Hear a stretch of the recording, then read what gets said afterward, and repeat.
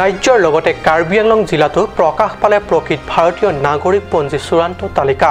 চূড়ান্ত তালিকা প্ৰকাশৰ সময়ত পাহাৰীয়া জিলা দুখনত কোনো অপ্ৰীতিকৰ ঘটনা সংঘটিত হোৱাৰ বাতৰি অহা নাই।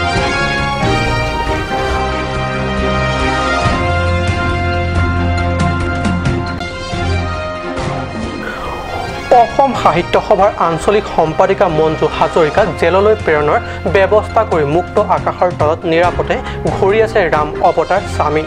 প্ৰবঞ্চক স্বামীৰ বিৰুদ্ধে তদন্তৰ আওতিলৈ অনাৰ দাবী বিভিন্ন মহিলা সংগঠনৰ। অৱশেষত অভাৱগ্ৰস্ত পিতৃ মাতৃৰ বাবে কিছু সকাহ। বহুদিন ধৰি জাপানীজ এনকেফ্লাইটিছ ৰোগত আক্ৰান্ত ছয় বছৰীয়া সন্তানটিক জি এম চিত চিকিৎসা প্ৰদান। অৰ্থৰ সহায় দি সকাহ দিলে মুখ্য কাৰ্যবাহী সদস্য তুলিৰাম ৰংহাঙে। নমস্কাৰ অসমীয়া প্ৰাইম টাইম বাতৰিত মই পৰকজ্যোতি শৰ্মাই স্বাগতম জনাইছোঁ। এতিয়া আগবাঢ়িছোঁ প্ৰথমটো বাতৰিলৈ। সমগ্ৰ ৰাজ্যৰ বিভিন্ন জিলাৰ লগতে পাহাৰীয়া জিলা দুখনৰ কাৰ্বি আংলং আৰু পশ্চিম কাৰ্বি আংলঙতো এন আৰ চি কেন্দ্ৰৰ যোগে প্ৰকাশ পালে প্ৰকৃত ভাৰতীয়ৰ নাম। প্ৰকৃত ভাৰতীয় নাগৰিকৰ এই চূড়ান্ত তালিকা প্ৰকাশৰ সময়ত জিলা দুখনৰ কোনো স্থানৰ পৰা অপ্ৰীতিকৰ ঘটনা সংঘটিত হোৱাৰ বাতৰি অহা নাই। পশ্চিম কাৰ্বি আংলঙৰ হামৰেনস্থিত চিনথং ব্লক কাৰ্যালয়ত থকা এন আৰ চি কেন্দ্ৰৰ পৰা মুঠ পাঁচশ ছয়চল্লিছ লোকৰ নাম অশুদ্ধ হোৱা বুলি প্ৰকাশ পাইছে। ইয়াৰে ভিতৰত চাৰিশ ছয়াল্লিছজন লোকে বৈধ ভাৰতীয় হোৱাৰ তথ্য প্ৰমাণিকৰ লগতে নাম প্ৰদৰ্শন কৰাত এন আৰ চিত নাম অন্তৰ্ভুক্তি হৈছে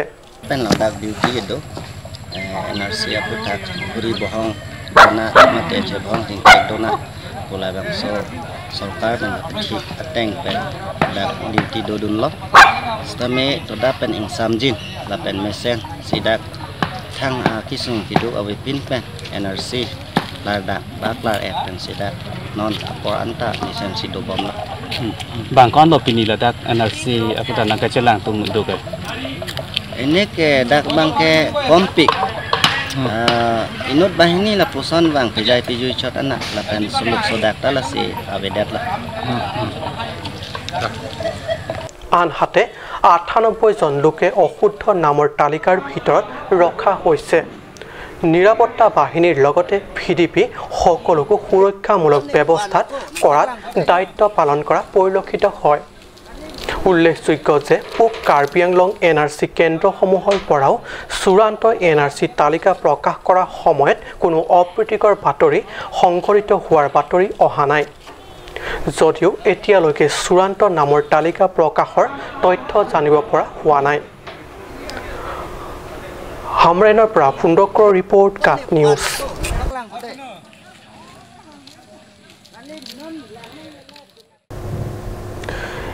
একেলগে দহটা গোচৰ মূৰৰ ওপৰত জাপ দি অসম সাহিত্য সভাৰ আঞ্চলিক সম্পাদিকা মঞ্জু হাজৰিকাক জেল হাজোত লৈ প্ৰেৰণ কাৰ্বি আংলং জিলা সাহিত্য সভাৰ উপ সভাপতি ৰাম অৱতাৰ স্বামীৰ মুক্ত আকাশৰ তলত নিৰাপদে ঘূৰি আছে। ইফালে চৈধ্য দিনৰ ন্যায়িক জিম্মাত থকা মঞ্জু হাজৰিকাৰ সন্মুখত আজিৰে সৈতে মাথোন দুটা দিন বিয়োগ হৈছে। এনে পৰিপ্ৰেক্ষিতত জেলৰ ভিতৰত মানসিকভাৱে ভাঙি পৰিছে হাজৰিকা। চকুলোৰে বাট নেদেখা হৈছে। কিন্তু কেৱল ব্যৱসায়ী ৰাম অৱতাৰ স্বামীৰ গোচৰৰ ভিত্তিতে অসম সাহিত্য সভাৰ সম্পাদিকা মঞ্জু হাজৰিকাক কেইঘণ্টামানৰ কাননী প্ৰক্ৰিয়া অন্তৰ্গত যাৱতীয় কাগজ পত্ৰৰ কাম সম্পাদন আৰু গোচৰ পঞ্জীয়নৰ পিছতেই আৰক্ষীয়ে চিধাই ত্ৰিফু ন্যায়িক আদালতত হাজিৰ কৰোৱাৰ অন্তত লগে লগে জেললৈ প্ৰেৰণৰ কাৰ্যত একাংশ সচেতন মহলে তীব্ৰ আশ্চৰ্য প্ৰকাশ কৰিছে। কিয়নো প্ৰতিপক্ষক কোনো সময় নিদিয়াকৈ এজন দুৰ্ধৰ্ষ অপৰাধীৰ ক্ষেত্ৰতো কেইঘণ্টামান কাননী প্ৰক্ৰিয়াৰ ভিতৰত গোচৰ পঞ্জীয়ন তথা জেললৈ প্ৰেৰণৰ ঘটনা কম পৰিলক্ষিত হয়। কিন্তু অসম সাহিত্য সভাৰ এগৰাকী আঞ্চলিক সম্পাদিকাৰ ক্ষেত্ৰত এইদৰে তাৎক্ষণিক কাননী কাৰ্য সম্পাদন হ'ল। আনহাতে কামাখ্যা মন্দিৰত স্বামী ৰাম অৱতাৰ আৰু মঞ্জু হাজৰিকাই দুই হাজাৰ ওঠৰ চনৰ তেইছ মাৰ্চত দুয়ো গুৱাহাটীৰ কামাখ্যা মন্দিৰত হিন্দু প্ৰথামতে বিবাহ পাশত আবদ্ধ হোৱাৰ লগতে দুই হাজাৰ ঊনৈছ চনৰ পোন্ধৰ মে'ত দুয়ো আইনগতভাৱে বিবাহ সম্পন্ন কৰে। তৎসত্বেও ৰাম অৱতাৰ স্বামীয়ে নিজ পত্নীৰ বিৰুদ্ধে ধন দাবীৰ অভিযোগ নিতান্তই হাস্যকৰ বুলি মন্তব্য প্ৰকাশ কৰিছে একাংশ মহলে।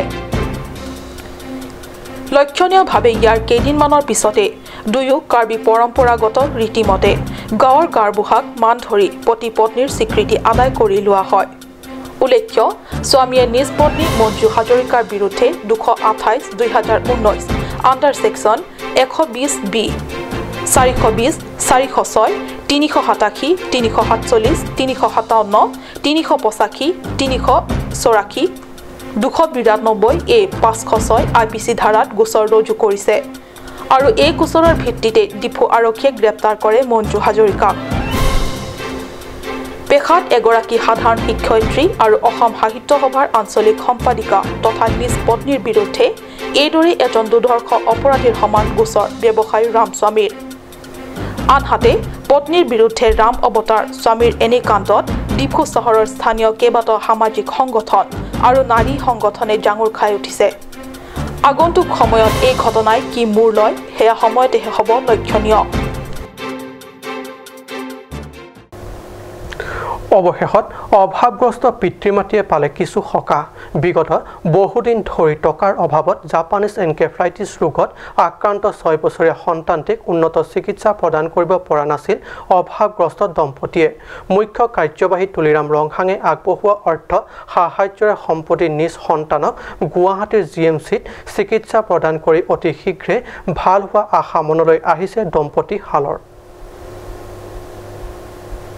জানিব পৰা মতে জাপানীজ এনকেফেলাইটিছ ৰোগত আক্ৰান্ত ছয় বছৰীয়া শিশু চেংক্লাৰক পিতৃ মাতৃয়ে প্ৰথমে দিলাই প্ৰাথমিক উপস্বাস্থ্য কেন্দ্ৰত আৰু তাৰ পিছত ডিমাপুৰলৈ নি উন্নত চিকিৎসা প্ৰদান কৰা হৈছিল। কিন্তু অভাৱগ্ৰস্ত পিতৃ মাতৃয়ে ডিমাপুৰ চিকিৎসালয়ত আৰোগ্য হোৱালৈকে চিকিৎসা প্ৰদান কৰিবলৈ অসমৰ্থ হোৱাত নিজ গৃহলৈ লৈ আনে। কিন্তু ঘৰলৈ অনাৰ পিছত চিকিৎসাৰ যাৱতীয় সুবিধা তথা টকা পইচাৰ অভাৱত ন্যূনতম চিকিৎসা সেৱা আগবঢ়াব পৰা নাছিল শিশুটিক। ফলত শিশুটি লাহে লাহে ইমানেই দুৰ্বল হৈ পৰে যে কথা ক'ব নোৱাৰা হৈ পৰে।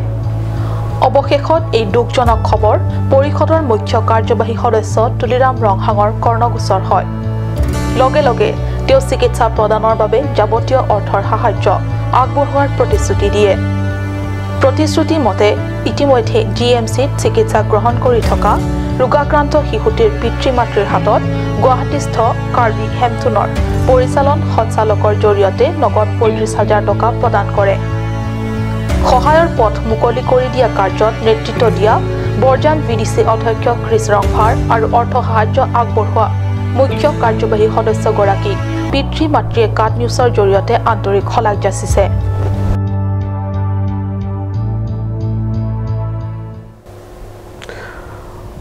হামৰেন ৰুকাছেন কাৰ্বি হিৰজি আমিৰ উদ্যোগত আৰু কে এছ এ হামৰেন মুখ্য শাখা কে চি এছ হামৰেন মাণ্ডলিক কমিটি কাৰ্বি লামমেড আমিৰ আঞ্চলিক শাখাৰ সহযোগত শুক্ৰবাৰে পশ্চিম কাৰ্বি আংলঙৰ হামৰেন বজাৰস্থিত মাল্টি ইউটিলিটি বিল্ডিঙৰ প্ৰেক্ষাগৃহত সফল সম্পন্ন হৈ যায় কবিতা প্ৰতিযোগিতা অনুষ্ঠানত যোগদান কৰিবলগীয়া কবিসকলে অনুষ্ঠানৰ আৰম্ভণিতে নিজৰ নিজৰ নাম পঞ্জীয়ন কৰাৰ পিছতেই হামৰেন পৌৰ নিগমৰ অধ্যক্ষ বীৰেণ টিছৈ কবিতা অনুষ্ঠানৰ উদ্বোধনী কৰে। বিশিষ্ট কবি ৰঞ্জিত তেৰণৰ সঞ্চালনাত এই কবিতা অনুষ্ঠান খৰচিং তেৰণ ৰ'জমেৰী বেপী মালতী তেৰণ পি আৰু বলেশ্বৰ হানছেৰ কবিতাৰে শুভাৰম্ভণি কৰা হয়।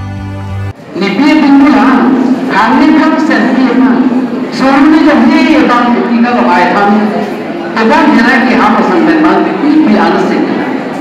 Ipi jangan kan pinjiro jona. Saya mana dan hek sabar benda. Mau menjun nanti kan tapi tu sini ipi jangan kita jangan kalau কবিতা প্ৰতিযোগিতা অনুষ্ঠানত প্ৰায় শতাধিক কম বয়সীয়া কবিসকলে ভাগ লোৱা এই কবিতা প্ৰতিযোগিতা অনুষ্ঠানত ৰ'জমেৰী বেপী লংচিং টকবি আৰু চাৰ্থে তেৰণ প্ৰমুখ্যে জ্যেষ্ঠ কবিসকলে কবিতা অনুষ্ঠানত নিৰ্ণায়ক ভূমিকা লয়। আনহাতে কবিতা প্ৰতিযোগিতা অনুষ্ঠানৰ পিছতেই হামৰেন ৰুকাছেন আমিৰ সভাপতি মঙল সিং তেৰাঙৰ পৌৰহিত্যত অনুষ্ঠিত হয় এখন ৰাজহুৱা সভা। হামৰেনৰ পৰা সুন্দৰ ক্ৰ report cut news.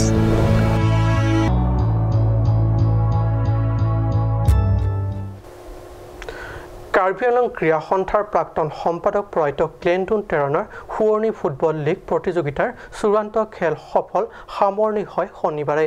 খেলত ঘৰুৱা দল খেৰণি ফুটবল ক্লাবে থাৰ্ৱে হিন্দী ফুটবল ক্লাবৰ দলক তিনি শূন্য গ'লত পৰাস্ত কৰে। খেৰণি ক্ৰীড়া সন্থাৰ উদ্যোগত অনুষ্ঠিত আজি অন্তিম দিনৰ খেলত দুয়োটা দলে আৰম্ভণিৰ পৰা উভয়ে উভয়ক তীব্ৰ আক্ৰমণাত্মকভাৱে অৱতীৰ্ণ হোৱা খেলখন তীব্ৰ আকৰ্ষণীয় হৈ উঠে। খেলখনৰ প্ৰথমাৰ্ধত খেৰণি এফ চি দলৰ খেলুৱৈ লংকাম টেৰাই ক্ৰমে তিনিটা গ'ল দি দলক এক মজবুত স্থিতিত আগুৱাই লৈ যায়। দ্বিতীয়াৰ্ধত খেলত থাৰ্ৱে হিন্দী ক্লাবৰ দলে কেইবাবাৰ গ'ল দিয়াৰ সুযোগ লাভ কৰিও বিৰোধী দলক এটাও গ'ল ঘূৰোৱাবলৈ সক্ষম নহ'ল। এই চূড়ান্ত খেলখনৰ শ্ৰেষ্ঠ খেলুৱৈ বঁটা ৰঞ্জা টেৰাই লাভ কৰাৰ বিপৰীতে অধিকতম গ'ল দিয়া বঁটা লাভ কৰিছে লংকাম টেৰাই উল্লেখযোগ্য যে খেলখনৰ আৰম্ভণিৰ পৰা শেষলৈকে কপিলী পৰিষদ সমষ্টিৰ এম এ চি আৰু আমৰেং পৰিষদ সমষ্টি M A C Rina Terangpi আৰু পৰাত্য ক্লেংটন টেৰণৰ পৰিয়ালৰ লোকসকল উপস্থিত থাকে।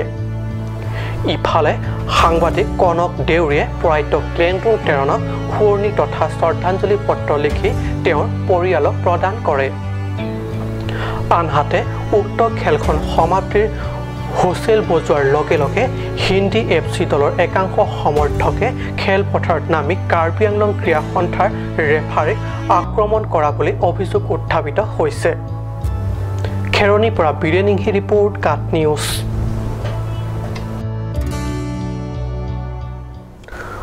সময় হৈছে এটি চমু বাণিজ্যিক বিৰতিৰ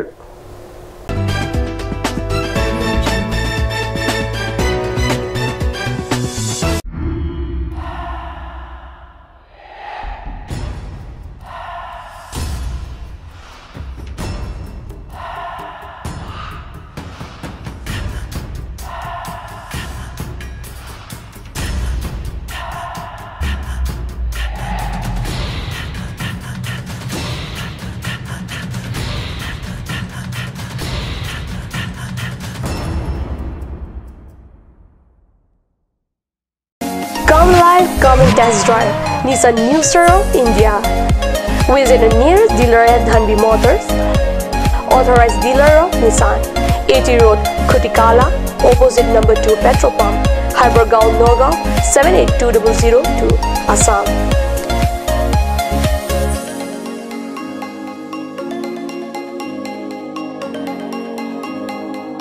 With attractive offers of the month, Microactive, XVS 50,000, Redigo 15,000, Datsun Go 10,000, Go Plus 10,000, Sunny 50,000. Tarano XLDO special offers up to 2 lakh. Along with special offers of for doctor, check on the given screen. For more details, contact sale consultant Bisnu Tiso 9365 454415 double nine five four seven nine three nine zero five.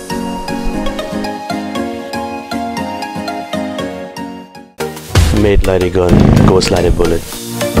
Sun Motors, authorized dealer of Royal Enfield. Ronkelan, near Don Bosco School, Lifu, 782460, Assam.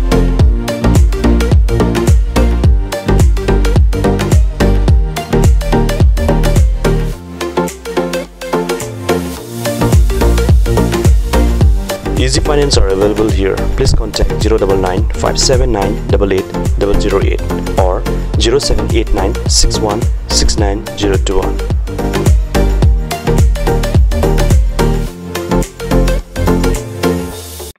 আজিকালি যিকোনো party মানে কাঞ্চ juice বাইদি বাইতো কমলাৰটো খাইছিলি নে আনাৰসৰটো পাহাৰীয়া কমলা আৰু আনাৰসৰ পৰা তৈয়াৰ কৰা কাঞ্চ জুচ সম্পূৰ্ণ বিশুদ্ধ কাঞ্চ জুচ খাওক জীৱনৰ মজা লওক Conch Juice.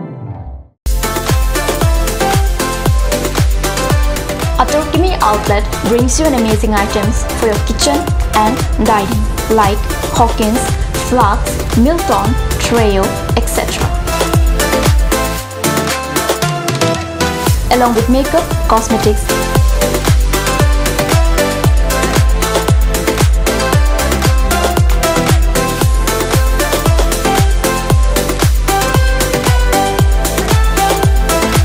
grocery items are also available according to your needs.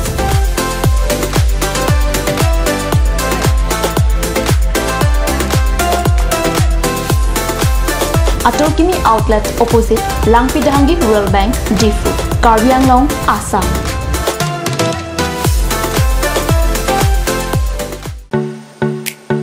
Simonjir Children Park come picnic spot. A place to visit for sure. The park is filled with eye-catching flowers, some medicinal plants and nursery. A perfect place for your children and family. For more queries, please contact 91014 33731 93652 07012. Simonjir Children Park, Chirikangnet, Ward number 4, Depot, Karbi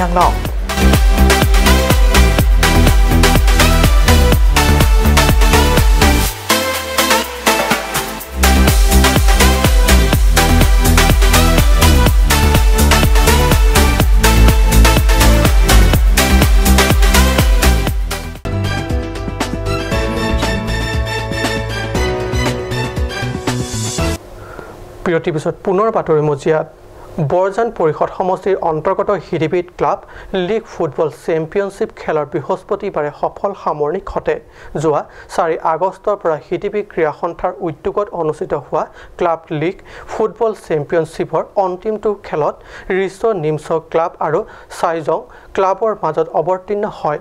খেলত চাৰি এক গ'লৰ ব্যৱধানত চাইজং ক্লাবৰ বিৰুদ্ধে জয়লাভ কৰে rich নিমছ ক্লাবে। অন্তিম খেলখনৰ উপলক্ষে আয়োজিত আৰু সিডিপি ক্ৰীড়া সন্থাৰ সভাপতি ফিলিপ তেৰণৰ পৌৰোহিত্যত অনুষ্ঠিত অনুষ্ঠানত বোকাজনৰ বিধায়ক doctor Numal Momin Borjan B D C অধ্যক্ষ ক্ৰিছ ৰংফাৰ সিডিপি লেম্পছৰ অধ্যক্ষ চামচন ইংটি বৰজান কে চি এছৰ সভাপতি জনা সিং তেৰণ চৰকাৰী গাঁওবুঢ়া ৱফংক্ৰ আৰু সিডিপি ক্ৰীড়া সন্থাৰ প্ৰমুখ্যে বিশিষ্ট ব্যক্তিসকলে উপস্থিত থাকে আৰু ৰোমাঞ্চক তথা অন্তিম ফুটবল খেলখন উপভোগ কৰে। বিপুল দৰ্শকৰ অভূতপূৰ্ব সঁহাৰিৰ মাজত অনুষ্ঠিত ৰোমাঞ্চক ফুটবল ফাইনেল খেলত বিজয়ী ৰিচ নিমছ ক্লাবক নগদ টকা দহ হাজাৰ আৰু এটা ট্ৰফি আগবঢ়ায়। আৰু ৰানাৰ্ছ আপ দলটিক আগবঢ়ায় নগদ পাঁচ হাজাৰ টকা আৰু লগতে এটা ট্ৰফি। উল্লেখ্য খেলখনৰ ভিতৰত শ্ৰেষ্ঠ খেলুৱৈ ৰিচ নিমছ ক্লাবৰ তেৰ নম্বৰ জাৰ্চি টেনিছন টিছো আৰু ৰামটেৰাং ফুটবল ক্লাবক উত্তম শৃংখলা বঁটা আগবঢ়ায় বিধায়ক doctor Numal মুমিনে। Mangal Inghi report cut news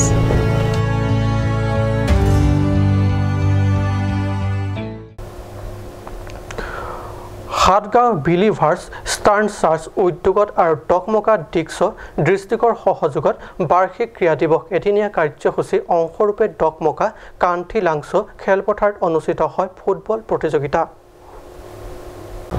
Satgaon believers stern চাৰ্জৰ উদ্যোগত আৰু ডকমকা ডিক্স ডিষ্ট্ৰিক্টৰ সহযোগত বাৰ্ষিক ক্ৰীড়া দিৱসৰ এদিনীয়া কাৰ্যসূচীৰ অংশৰূপে ডকমকা কান্থিলাংছ খেলপথাৰত অনুষ্ঠিত হয় ফুটবল প্ৰতিযোগিতা। প্ৰতিযোগিতামূলক খেলখনত টেকেলাংজোন এ আৰু টেকেলাংজোন বিৰ মাজত অনুষ্ঠিত হয়। খেলত এক শূন্য গ'লৰ ব্যৱধানত টেকেলাংজোন বিৰ বিৰুদ্ধে টেকেলাংজোন এৰ জয়লাভ হয়। বাৰ্ষিক ক্ৰীড়া দিৱস উপলক্ষে আয়োজিত অনুষ্ঠানত ডিক্স staff deacon Tapan Milik Andrew Milik reverend Nagen Kiling Tokmoka secretary Hemari Teron প্ৰমুখ্য বিশিষ্ট ব্যক্তিসকলৰ অংশগ্ৰহণ কৰে। এদিনীয়া ফুটবল খেলখনৰ পৰিচালনা কৰে অসম ফুটবল ক্ৰীড়া সন্থাৰ ৰেফাৰী ৰতন ইংটি বীৰচন ক্ৰামচা আৰু ব্যাপুৰাম সিংনাৰে। অৰুণ লেখে ৰিপৰ্ট কাট নিউজ।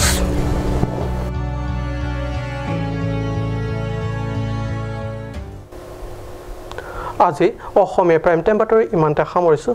ধন্যবাদ।